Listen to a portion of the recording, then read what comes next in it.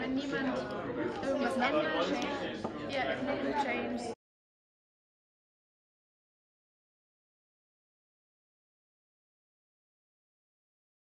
Und wenn jeder weit, also wenn jeder so weitermacht, wie er sich die Schuld hat, dann, sagt jetzt everyone wants to change this. And all happens in earning money.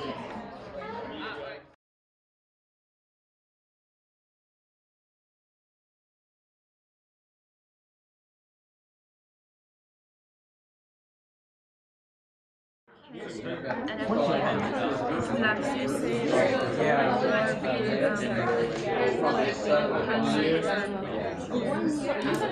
guess I'll do the tree. Yeah? Okay, so then I'll do the area.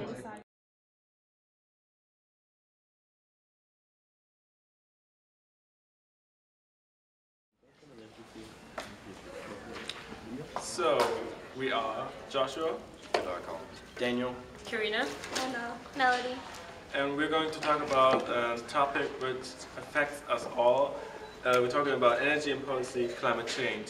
Um, the global warming develops more and more, and some countries already feel the effect of those global warming. For example, the state of Seychelles, I think you call it like that in English, uh, already feels that the water po- uh, level is rising more and more, and the highest point of that country is only about three, four meters high. So if it gets uh, worse and worse, Seychelles will be overflowed with water and gone.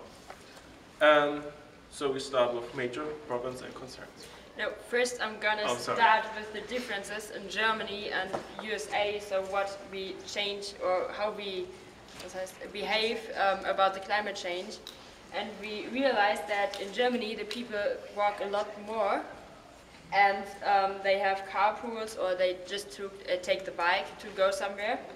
And uh, the students get their car much later than here because we are only allowed to drive at the age of 18 and here you're allowed to drive at 16 so we have it later on. And um, the gas prices are really high. And in the USA, the people just normally take their car to go somewhere and the students have their cars like really early and um, the gas prices are very low. Um, major problems and concerns. Um, the demand of oil, gas, and uh, coal continues to grow uh, as we continue to drive and such. And uh, the misuse and overuse of limited water resources. So we have like 3% of like uh, drinking water and clean water, not salt water and stuff. And then uh, global warming is the major concern of everything because it affects the whole world. So. Okay, solutions. Um, we said that the United Nations could come together and create a global policy or law that demands that Can you, citizens. can you turn around and talk to the group? Read, um, read through, and you turn around and then you talk to the group. Okay.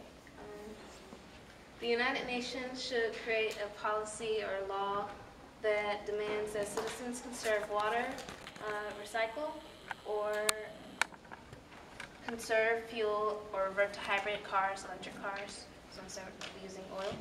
Um, We could have countries enforce awareness and require citizens to take classes every year that are based off being green and taking care of our environment. And we can adjust to, instead of stopping the greenhouse, we can adjust to it, its splurge and stop companies from selling gases and resources that just for profit and just use resources that, renewable resources that aren't harmful to our environment.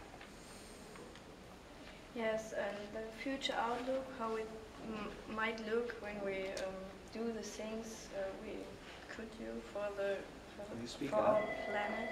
Speak up. Um, if we do these things, the people can recognize that we must take care of our planet and we recycle and we conserve our um, our things and um, if the people now they that they um, have to walk or go by bike somewhere, if they do it, the planet will last longer and um, as well our limited resources. We can't stop the um, the climate change, but we can slow it down. So, yeah. So, okay. So, two, um, people can continue, pe- people can continue to abuse and misuse our planet and its resources, and eventually, Speak up. I'm an old man, I cannot hear you. and eventually we run out of resources. Conflict, conflicts arise, and the world may end, or be left in the environmental disaster. So that was our presentation. If you have any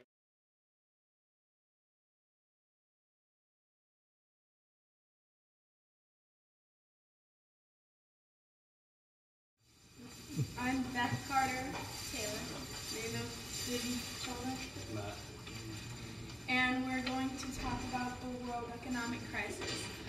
And I'm going to start with a short story about, um, it's not really even a story, it's, uh, it's kind of about outsourcing and how um, it just, it takes away jobs for a lot of people and it my my aunt JC, she works for American Airlines, and she used to make a lot of a decent amount of money. You know, she she she worked hard, and she was about to lose her job because they were going to outsource all of the jobs um, from American Airlines all the way to China. So she was going to be out of work, and she wasn't going to have the money to um, to like buy Live. things, live, and you know, buy things that could help the economy circulate. And I think that without those jobs, it kind of helps us crash and burn. So, I'm going to present um, the main questions we were asked on our, our sheet, just to uh, give you guys a sense of uh, what we were talking about. So the first question was, uh, what caused the financial crash in uh, 2007? So basically, the problems were that the country spent more money than they had, and the other one was that um, the banks took uh, invested in uh, projects and uh, had a really high risk. So um, the next question was, uh, what is Thatcherism?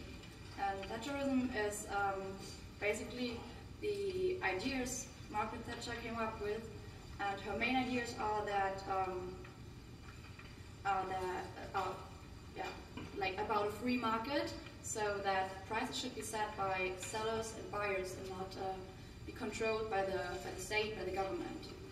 And the last very, very important question was um, what risks um, banks have to face. And one risk would be that um, loans will, well, could not be paid back, so they lose, well, they could lose their money on that. And the other risk would be that, um, yeah, that uh, that their clients, their customers, would withdraw their money because um, they are afraid uh, they are afraid of losing it.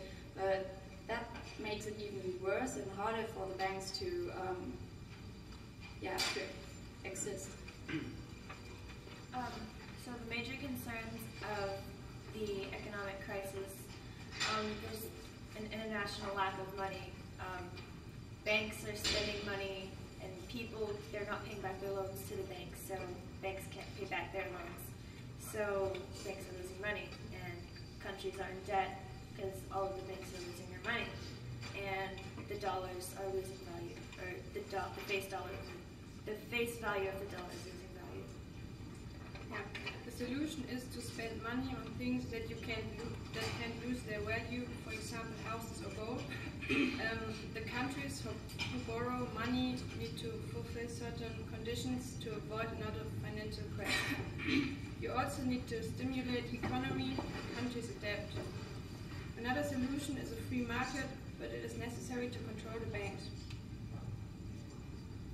Uh, the potential risk is uh, if countries borrow money all the time, debt worldwide is too high to pay off. And the economy can only grow so much to pay off the interest rates. So failure to, failure to pay debts can result in wars or action that can be international or civil to secure that money. And the cycle of money is broken and can cause a crisis affecting everybody. And if nothing changed about this, all countries would be poor and everyone would have to start earning money at the very beginning. Um, so now we're going to ask if any of you guys have questions.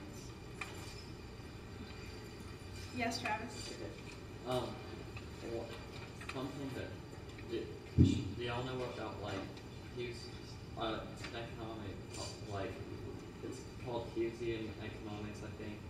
And I think what the po- policy is, is like, what countries do is they have periods where they spend more and cut taxes, and then they go into the next period where they raise the taxes and cut the spending. And then that helps keep Kind of the balance of the debt.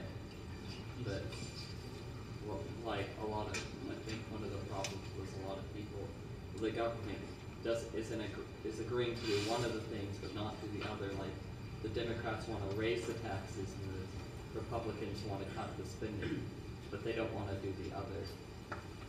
So, See, I think that um, with that, they, I think that the political parties should um, like get their get both their ways. One, like one half of the year, they can cut spending and lower, or what did you say? Cut spending and raise taxes, and then the next half of the year they can uh, raise spending and lower the taxes. So I think it could be the best of both worlds with that, um, so that each party gets their uh, what they want. Yes, Jax. So the United States of America is around seventeen trillion dollars in debt, and this is obviously not uh, going to be able to be paid off in anyone's lifetime. So to reach, and each child in the U.S. is born with about hundred thousand dollars worth of worth of debt uh, to their name, which uh, which leads me to the question like, how would we reach uh, a conclusion with a different country to where we wouldn't have to be uh, enslaved by them instead of like I mean not enslaved you know what I mean just like To not be in debt with them for not you to be completely so far in debt to where subliminally they control our economy completely. Right. Um, well, the thing is, to cut spending, there's so much spending in our country that is absolutely unnecessary. And I'm not even going to get into the sequester.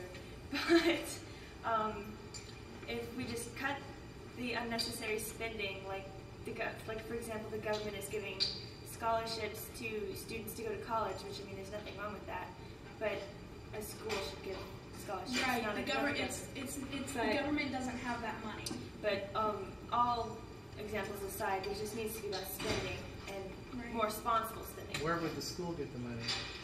Um, not schools, but like scholarship programs. There's scholarship programs that Raise money specifically for yes, giving scholarships. So more fundraising from the Yes, private yes. sector? yes.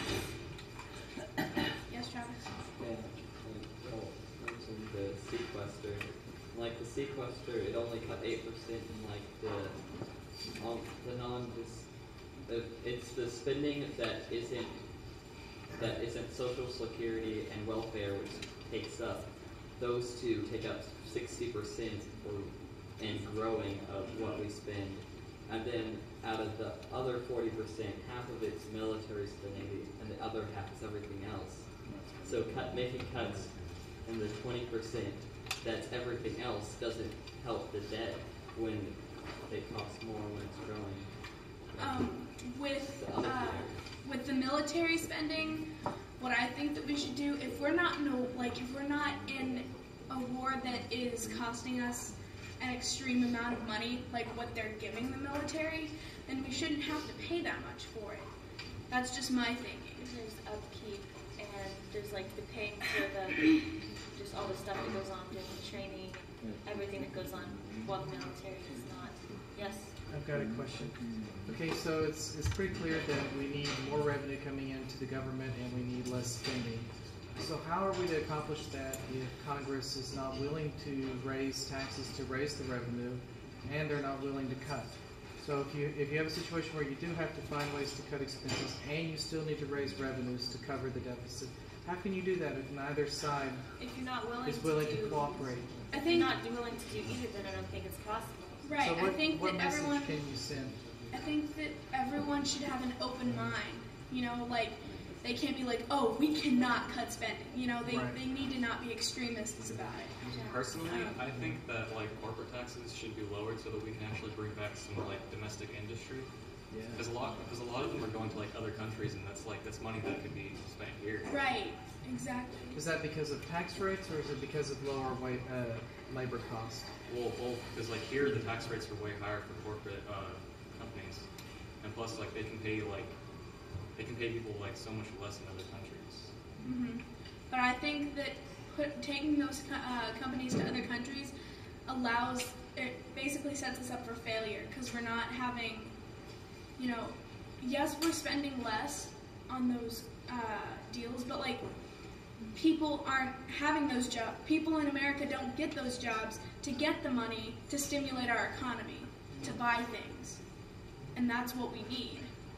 Uh, Jax.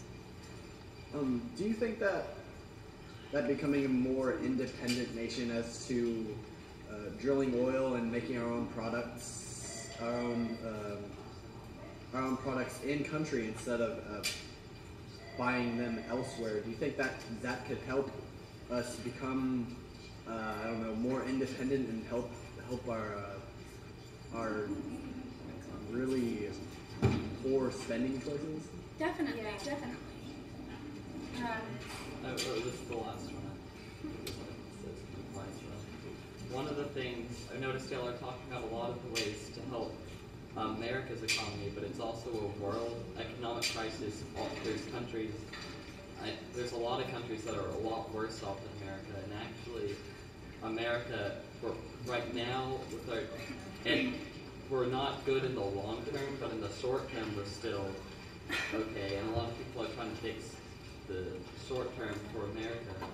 But even if we brought all the jobs back to America and instead of outsourcing the out outsourcing, it would only help our economy. It wouldn't help the economy in the of the entire world.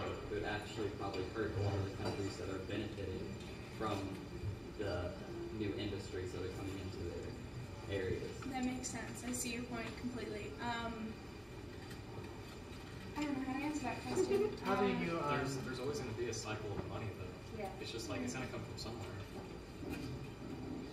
Sabrina, did you have a question earlier? Yes, I did. Sorry. Okay, do you think in order to prevent a war and people becoming poor, do you think we should stop borrowing money from other countries? Oh, definitely. Because then we have to pay it back with money, money that we don't have because we spend the money that countries give us, and it just makes us out to have even more debt, you know? And we really don't want that. But I think I think like a way to like save more money, you know, like in previous wars, like Americans, like like the government has asked the citizens of America to like cut spending and save all that you can, conserve everything, and I think a lot of people feel like that's an maybe the government think thinks that that's an outrageous request or something. Right. I read, I read, I read a figure that said that the money that was spent in Afghanistan, Iran, Iraq, every house in the United States could be equipped on their roof with solar panels. Can you imagine that? That would mean for you, you would not have to worry about energy anymore, That would cut down electricity. a lot of, Yeah. you know, of the spending that Americans have to do, and that that let us save a lot. Yes, Ty.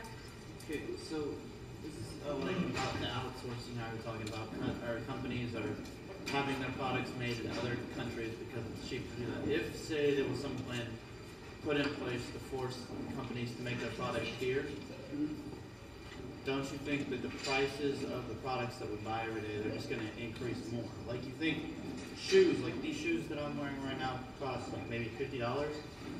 about, and they were made in probably some third world country, if they were made here and they had to pay more to have people make them, don't you think that these shoes would become like even a more ridiculous price, like maybe even $100 because the prices they pay those third world country people, pennies in the dollar, based on what they have to pay, pay people here, like minimum wage, the prices on the products that we buy every day, like shoes, all that stuff would just triple and would not, I feel, would more damage the economy rather than hurt it because no one's going to have enough money to buy everything. Just like when, back whenever, during the French Revolution, people couldn't buy the food that was offered to them. That's why people were starving because the food was so expensive, but the jobs that they had weren't paying enough. And so if you can't buy those products that you need, then there's no revenue going back into the American economy. Yes, but see, like the shoes that I'm wearing probably cost about 50 bucks too. But how much does it how much do companies spend on supplies to make these shoes? What, like three three dollars, maybe a little bit more or less? Why why do they why do they make us spend so much on shoes that hardly you know cost anything to make? I think if they brought them back and they uh, to America and they sold it for the same price, they'd still be making a huge profit. It's not. It's the reason they cost so much is not because of the materials that it makes that it costs to make it. It's the manual labor that is needed to make it. Yes, but they hardly. They I'd like hardly, to uh, add something here, and then we're going to have to go ahead and wrap it up because it's time to head back. But um, keep in mind that most of these companies that outsource are international uh, corporations who are publicly traded, whose stock is owned by people all across the globe. So you're talking about all of us. You're talking about every nation, every investor, whether it's in Germany or in France or Russia or the United States, able to buy and own stock in those publicly traded corporations. So it's a global economy. It's all interlinked, and what happens here affects Portugal, and what happens in Portugal affects us. And the money has swapped hands so many times and been lent to each other. So we're all in it together. And uh, I think that this was an outstanding discussion, and it could go on for a long time. So thank you guys so much. It was very good.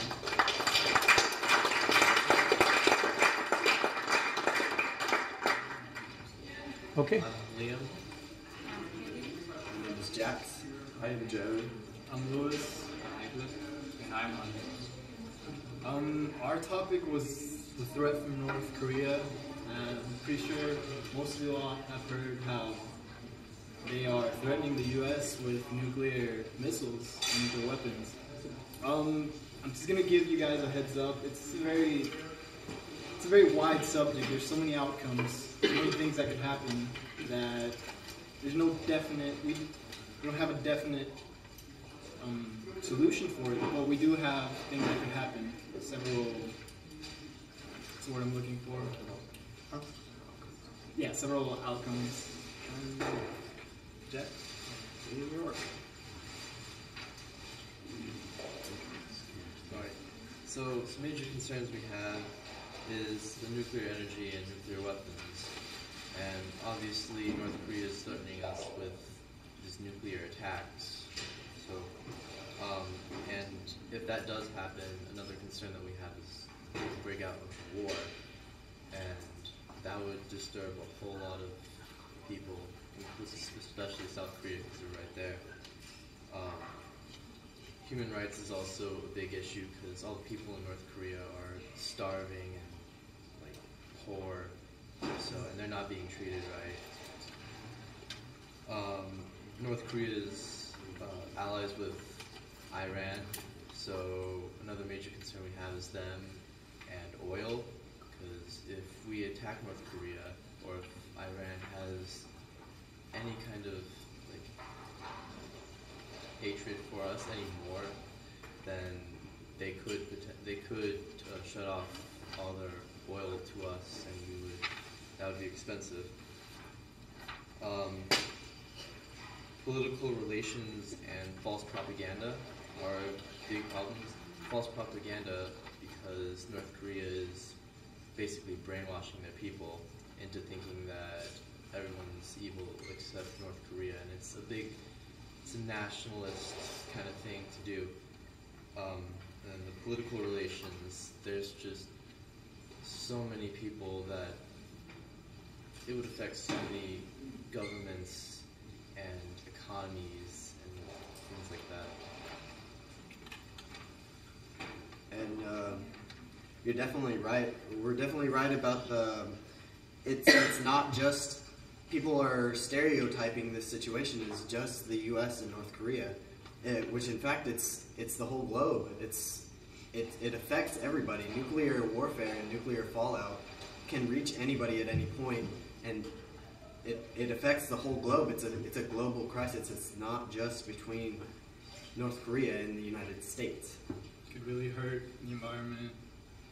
And um, our political solutions are that we might just try to limit North Korea's access to nuclear weapons and nuclear power. So, and try we we want to avoid war at all costs. So we try to like talk to them, negotiate.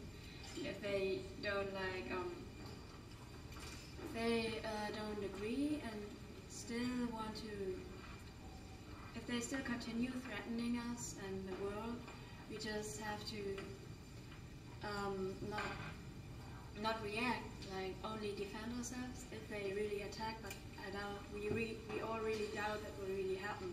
So if we just like ignore them for a longer time, we hope that we can get them. We doubt it will really happen due to the fact that they are not their people. They can't even feed their own people at the moment.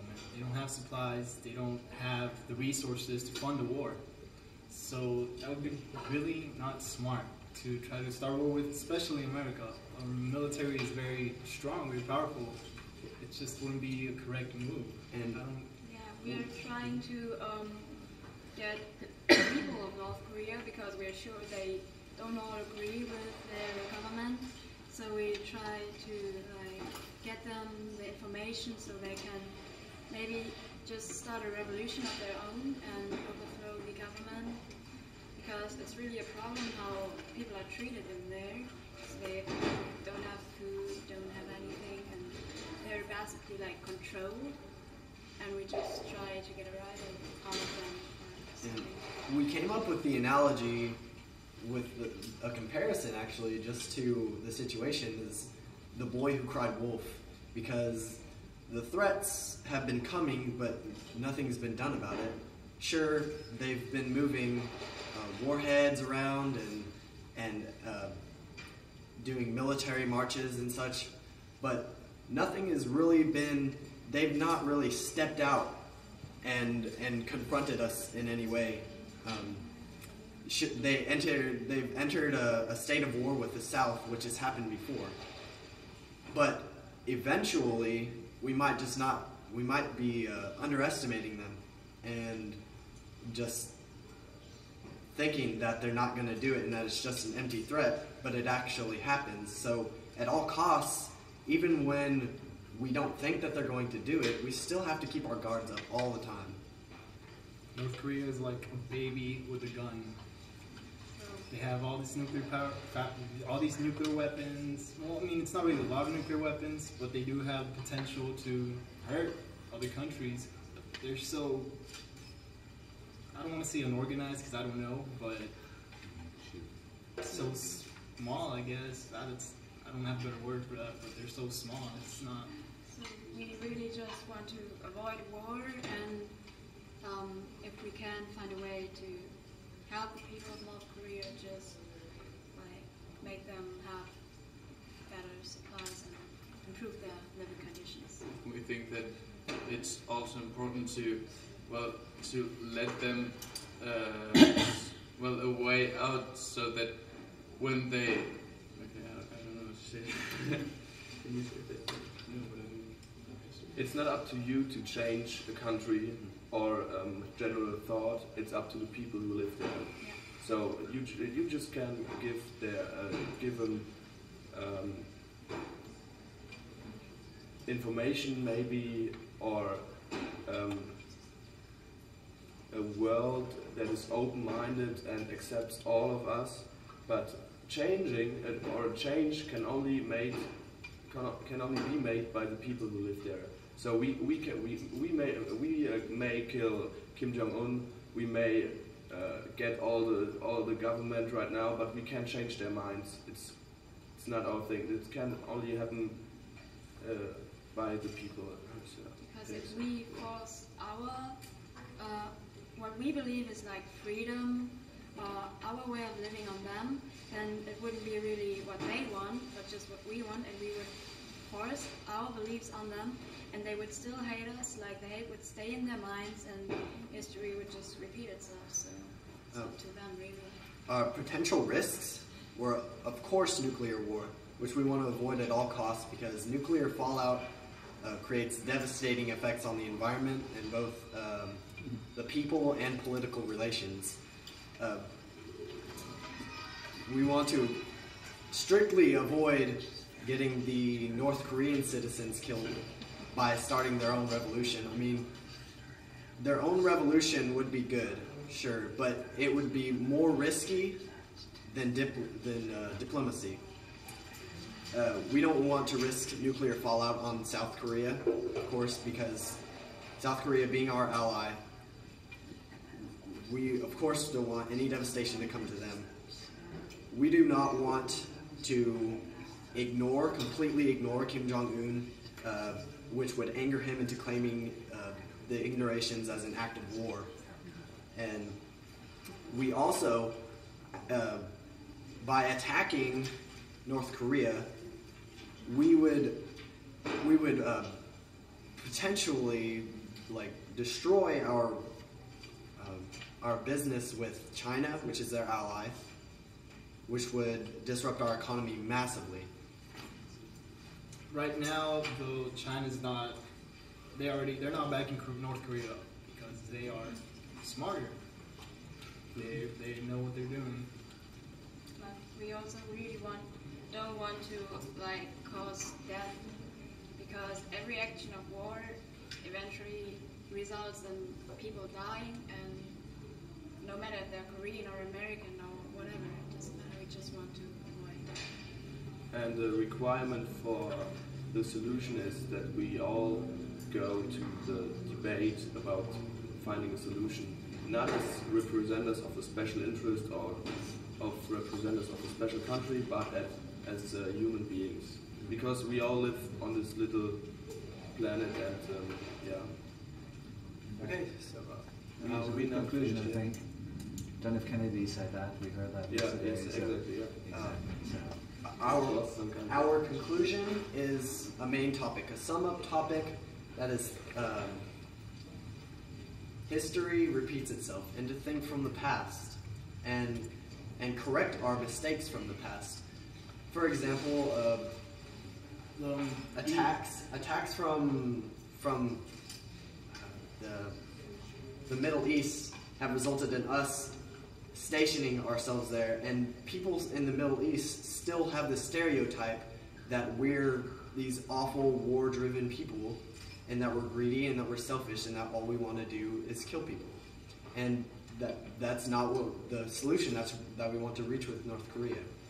Uh, we want to because because stepping foot in North Korea would would fill every stereotype that Kim Jong Un has set for us. So So our solution is we need to learn from our history and try, always try to find a peaceful, peaceful way, and just look at what has happened so far, think about it, and just take action after we have considered everything. I think that was a good conclusion. And That's I was gonna it. add as a, as a oh yeah yeah um, just in addi- just in addition as a future outlook you can a little bit compare the situation in, uh, from North Korea to South Korea as the Eastern and Western Germany and the the reunion of Germany took um, or the, the the source of this reunion was the population. So it's up to the population in North Korea to reunite the bright Korea. Uh,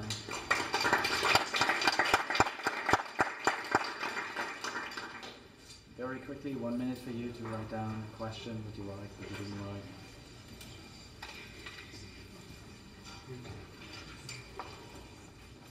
We are Sabria, Carly, and Kristen. and we're going to tell you something about the world hunger.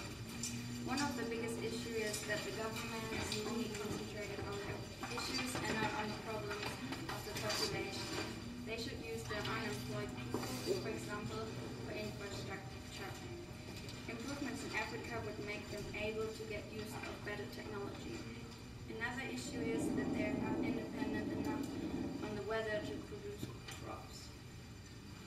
Our potential solutions are that the population and the government should be taught and united. So should have more influence on the government and um, they should learn how to spend money correctly and uh, plan families. But especially the, the government um, uh, should be taught because even though the population has um, or is enlightened and um, they're still dependent and on the government. So, um, because the task of the government is to take care of the people and the welfare of the country, so um, they should solve the uh, social problems and they should learn how to spend money for significant problem, problems um, like food and not only for building and weapons.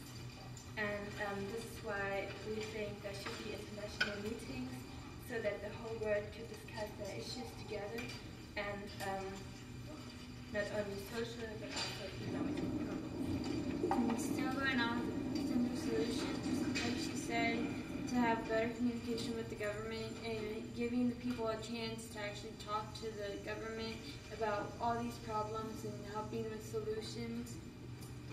And with like mostly like hunger problems and running out of food and getting the farmers to regrow their crops after the whole weather and climate change to regrow their crop, crops and um, sell them and trade with other countries so they can have more food. Uh, so the potential risks are that the people are probably not open-minded enough to um, communicate with each other, and when they have disagreement, uh, probably or maybe a war would break out, like in the worst case, and that maybe people could turn against the government because uh, they're not willing to work. I mean, anybody has to work, and um, yeah, that maybe when something bad happens, that they just are frustrated and they don't continue to work, that, so they won't reach their goal. The future outlook, the people could become more happier and healthier, and more people won't starve as they trade with other countries. And it also would create more jobs if they trade with other countries, and if the countries were to come over and allow factories to be built, because it would allow people to have more jobs and not want to just be lazy. If Africa chooses to trade with another country, it would also benefit them because it would allow them to have someone, uh, to have a good resource and allow them to use them wisely. And if they needed help with like anything, they could rely on them.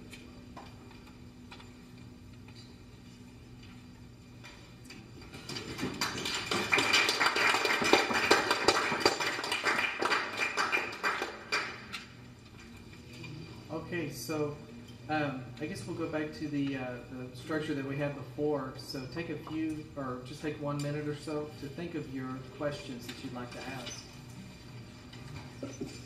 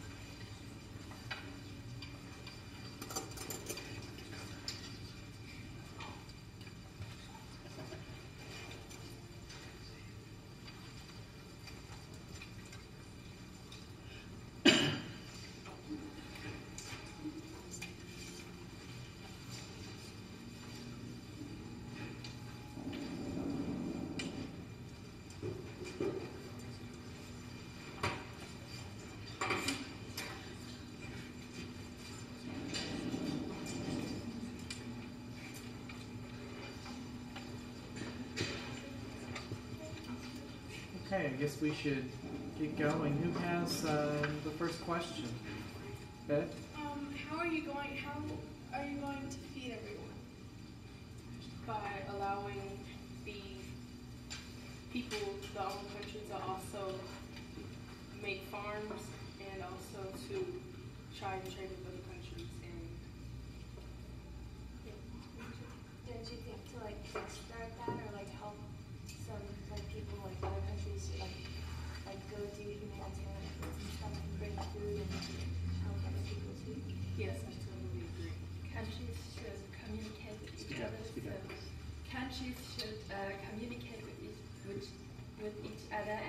should um, trade, and there shouldn't be borders anymore. That um, there are problems to um, export and to import. Yes, Louis? Um, I don't want to sound like a jerk, but I personally don't. Think, I think there's always going to be world hunger. Like, Say that again.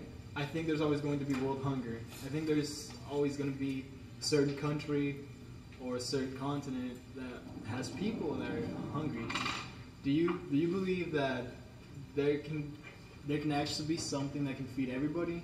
Like, Um, I don't think so. Like it's the same, but because I mean there will always be something that's better and like the opposite. I mean there can't be like everyone has the same things and the um, like a bunch of food and stuff. It's like that's not possible.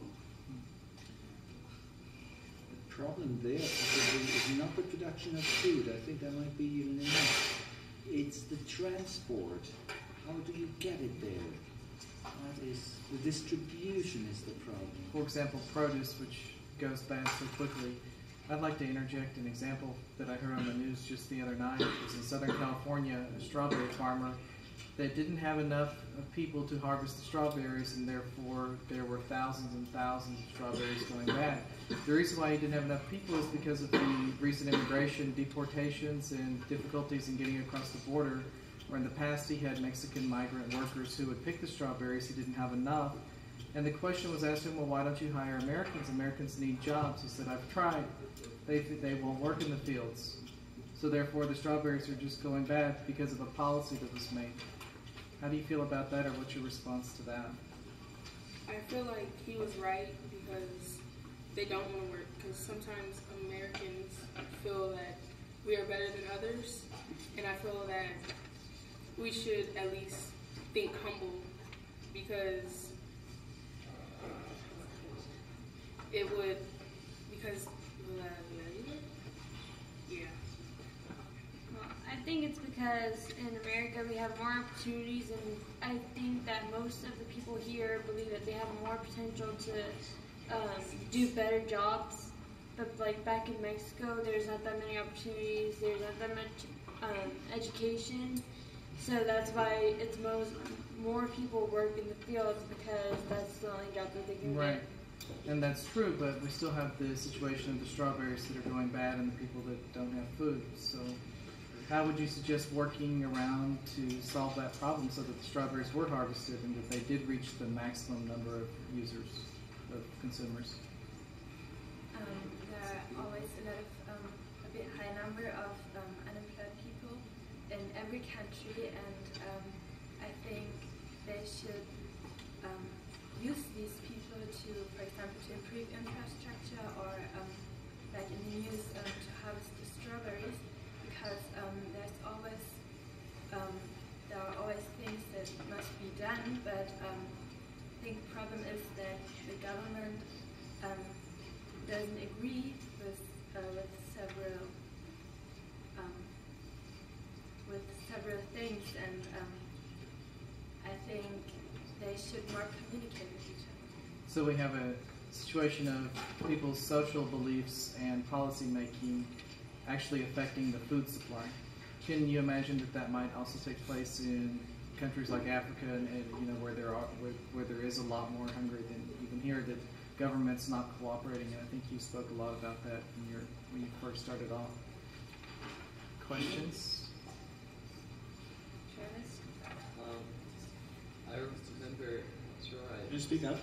I'm, not sure the exact percentage, but I saw something where it was like the there's a lot larger percent, um, larger percent of the food that's get that's like exported or there's like consumption rate. Like America has a higher percentage of consumption rate than countries that have a higher population than America. So I'm not sure what the exact percentage was, but like we take in more food, but we have less people. So it, and then like those countries, so they'll take that into consideration where other countries are getting more food than they actually need. Um, yeah, I agree because um, I think every day, or my whole family, or um, like everyone said from Germany that a lot of Americans just let, uh, just let a lot of food just on their plate and don't eat it. I mean, they took it, but uh, they won't eat it. Just I know, they're not hungry anymore and they're full. But that's kind of just wasted. I mean, this food that lies on this plate could feed someone else, and I don't know. It's kind of weird. I mean, when we take something from Germany to eat, although we're full, we would eat it because it's just polite. I know it's the difference. I mean, um, but here you just let it on the plate, and that was weird all of us, I think, from Germany. That it's just just lays there and it's just wasted. The food.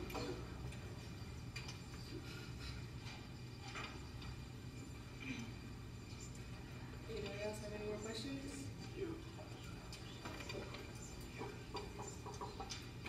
I have a question if nobody else does.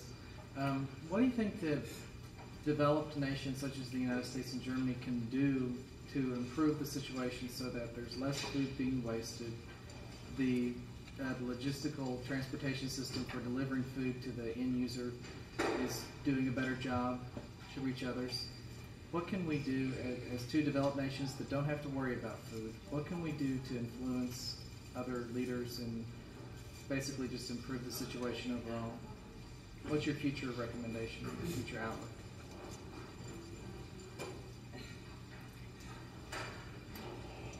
That that in, to let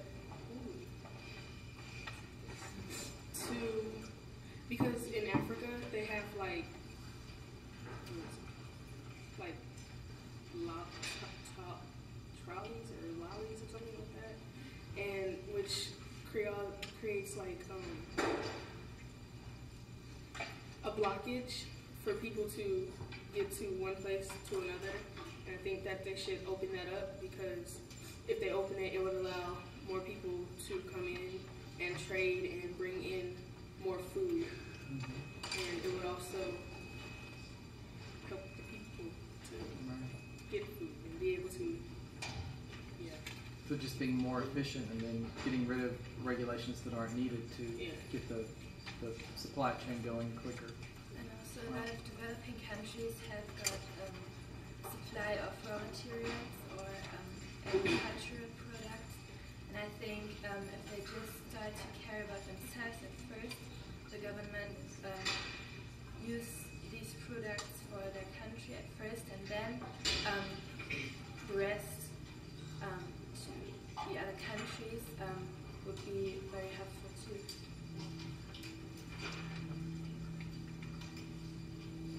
Does anybody have any further questions?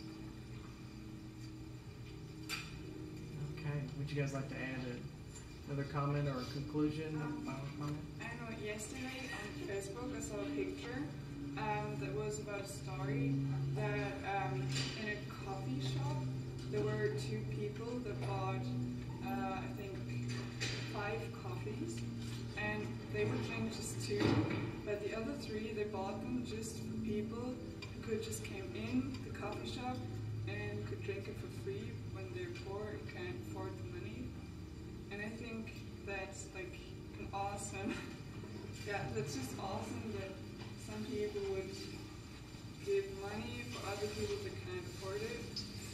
I don't know, that just Their generosity, and, and that has to come from the heart.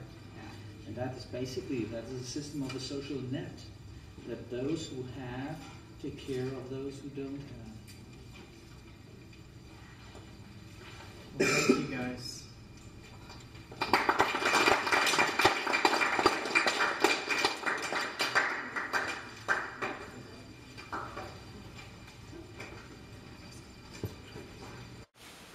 I'm Beth Carter Taylor, of Vivi Charlotte, Matt. and we're going to talk about the world economic crisis. And I'm going to start with a short story about, um, it's not really even a story, it's, uh, it's kind of about outsourcing and how um, it just, it takes away jobs for a lot of people and it my my aunt JC, she works for American Airlines, and she used to make a lot of a decent amount of money. You know, she she she worked hard, and she was about to lose her job because they were going to outsource all of the jobs um, from American Airlines all the way to China. So she was going to be out of work, and she wasn't going to have the money to um, to like buy things, live, and you know, buy things that could help the economy circulate. And I think that without those jobs, it kind of helps us crash and burn. So, I'm going to present um, the main questions we were asked on our, our little sheet, just to uh, give you guys a sense of uh, what we were talking about. So the first question was, uh, what caused the financial crash in uh, 2007? So basically, the problems were that the country spent more money than they had, and the other one was that um, the banks took uh, invested in uh, projects uh, had a really high risk. So um, the next question was, uh, what is Thatcherism? And Thatcherism is um, basically the ideas Margaret Thatcher came up with, and her main ideas are that um, are that uh, yeah, like about a free market, so that prices should be set by sellers and buyers and not uh, be controlled by the by the state, by the government. And the last very very important question was um, what risks um, banks have to face, and one risk would be that um, loans or could not be paid back, so they lose or they could lose their money on that. And the other risk would be that um, yeah that uh, that their clients, their customers would withdraw their money because um, they are afraid uh, they are afraid of losing it. But that makes it even worse and harder for the banks to um, yeah to exist. Um, so the major concerns of the economic crisis, um, there's an international lack of money. Banks are spending money and people, they're not paying back their loans to the banks, so banks can't pay back their loans. So banks are losing money and countries are in debt because all of the banks are losing their money. And the dollars are losing value, or the, the face dollar, the face value of the dollar is losing value. The solution is to spend money on things that you can't that can't lose their value. For example, houses or gold. um, the countries who, who borrow money need to fulfill certain conditions to avoid another financial crash.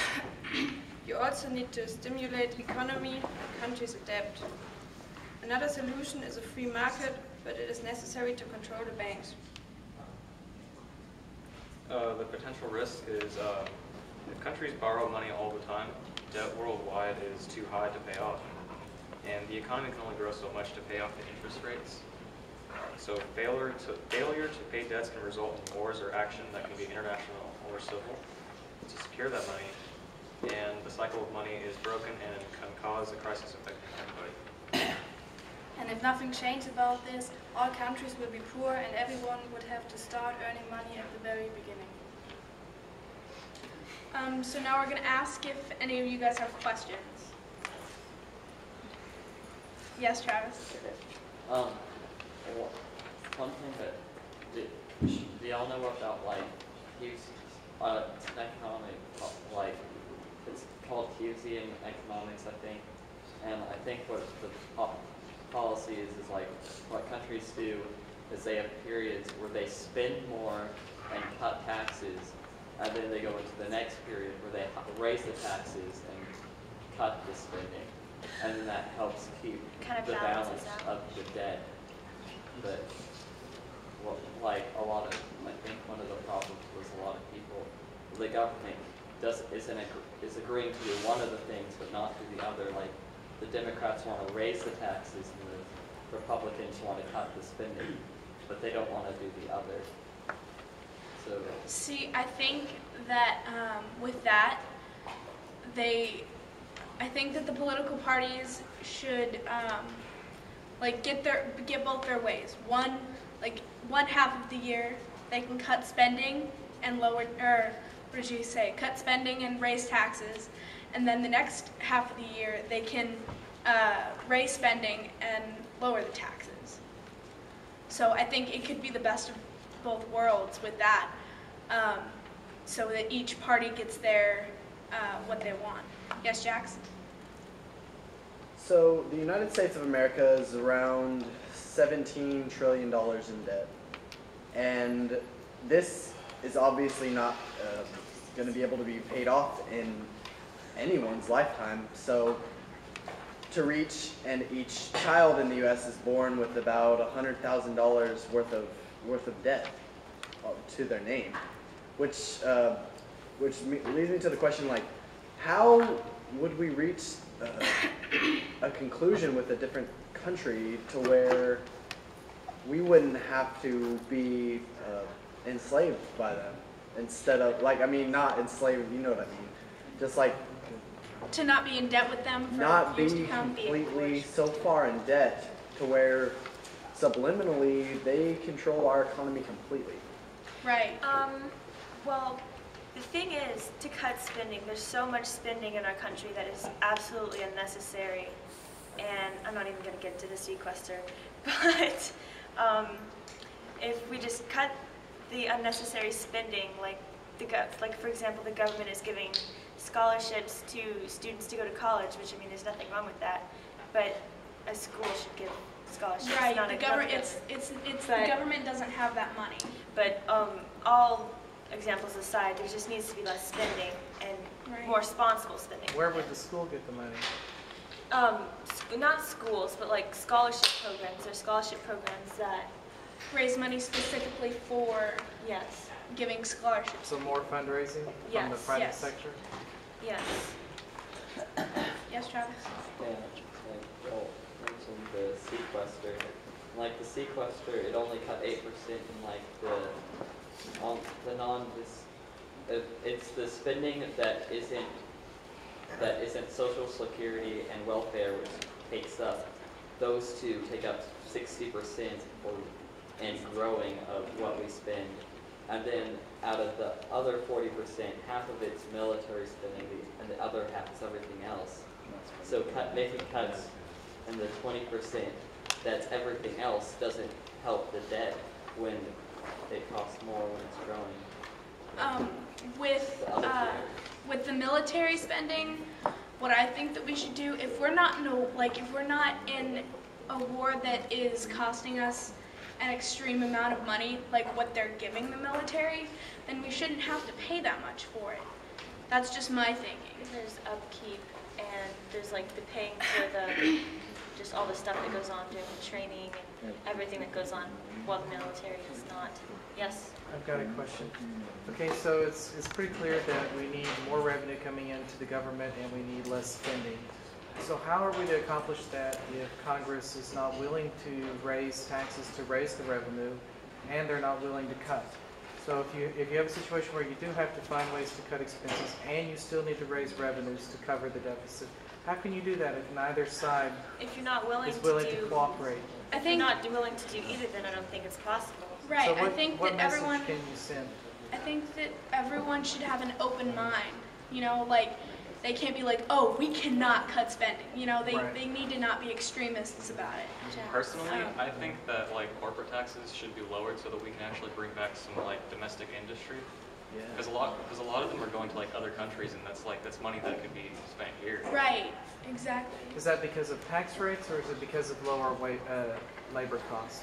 Well, both, because like here the tax rates are way higher for corporate uh, companies, and plus like they can pay like they can pay people like so much less in other countries. hmm But I think that put, taking those co- uh, companies to other countries allows it basically sets us up for failure because we're not having, you know, yes, we're spending less on those uh, deals, but like people aren't having those jobs. People in America don't get those jobs to get the money to stimulate our economy, to buy things, and that's what we need. Uh, Jax.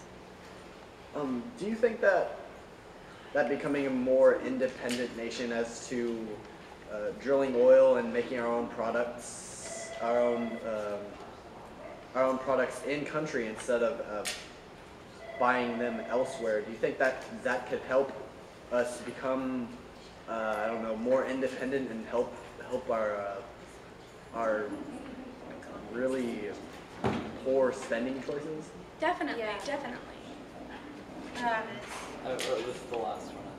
This is the last one. One of the things I've noticed y'all are talking about a lot of the ways to help America's economy, but it's also a world economic crisis. There's countries, there's a lot of countries that are a lot worse off than America, and actually, America, right now, with our, and we're not good in the long term, but in the short term, we're still okay. And a lot of people are trying to fix the short term for America.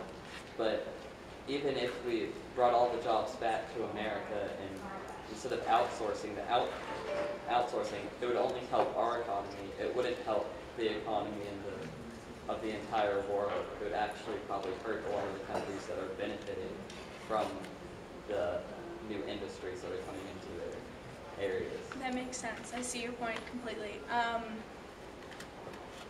I don't know how to answer that question. How do Um, you, um, There's there's always going to be a cycle of money though. Yeah. It's just like it's going to come from somewhere. Sabria, did you have a question earlier? Yes, I did. Sorry. Okay. Do you think in order to prevent a war and people becoming poor, do you think we should stop borrowing money from other countries? Oh, definitely. Because then we have to pay it back with money, money that we don't have because we spend the money that countries give us, and it just makes us out to have even more debt, you know? And we really don't want that. But I think I think like a way to like save more money, you know, like in previous wars, like Americans, like like the government has asked the citizens of America to like cut spending and save all that you can, conserve everything. And I think a lot of people feel like that's an maybe the government think thinks that that's an outrageous request or something. Right.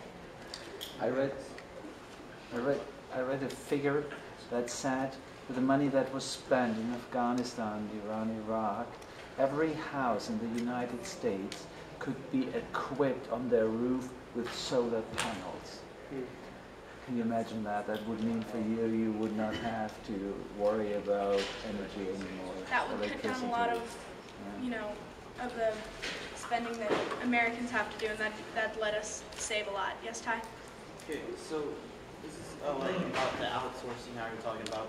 Our companies are having their products made in other countries because it's cheap to do that. If, say, there was some plan put in place to force companies to make their product here, don't you think that the prices of the products that we buy every day, they're just going to increase more? Like you think shoes, like these shoes that I'm wearing right now cost like maybe $50 about, and they were made in probably some third world country. If they were made here and they had to pay more to have people make them, don't you think that these shoes would become like even a more ridiculous price, like maybe even $100 because the prices they pay those third world country people, pennies in the dollar, based on what they would have to pay, pay people here, like minimum wage, the prices on the products that we buy every day, like shoes, all that stuff would just triple and would not, I feel, would more damage the economy rather than hurt it because no one's going to have enough money to buy everything. Just like when, back whenever, during the French Revolution, people couldn't buy the food that was offered to them. That's why people were starving because the food was so expensive but the jobs that they had weren't paying enough. And so if you can't buy those products that you need, then there's no revenue going back into the American economy. Yes, but see, like the shoes that I'm wearing probably cost about 50 bucks too. But how much does it how much do companies spend on supplies to make these shoes? What, like three three dollars, maybe a little bit more or less? Why why do they why do they make us spend so much on shoes that hardly you know cost anything to make? I think if they brought them back and they uh, to America and they sold it for the same price, they'd still be making a huge profit. It's not. It's the reason they cost so much is not because of the materials that it makes that it costs to make it. It's the manual labor that is needed to make it. Yes, but they hardly they I'd like hardly to uh, add something here, and then we're going to have to go ahead and wrap it up because it's time to head back. But um, keep in mind that most of these companies that outsource are international uh, corporations who are publicly traded, whose stock is owned by people all across the globe. So you're talking about all of us. You're talking about every nation, every investor, whether it's in Germany or in France or Russia or the United States, able to buy and own stock in those publicly traded corporations. So it's a global economy. It's all interlinked, and what happens here affects Portugal, and what happens in Portugal affects us, and the money has swapped hands so many times and been linked to each other. So we're all in it together. And um, I think that this was an outstanding discussion, and it could go on for a long time. So thank you guys so much. It was very good.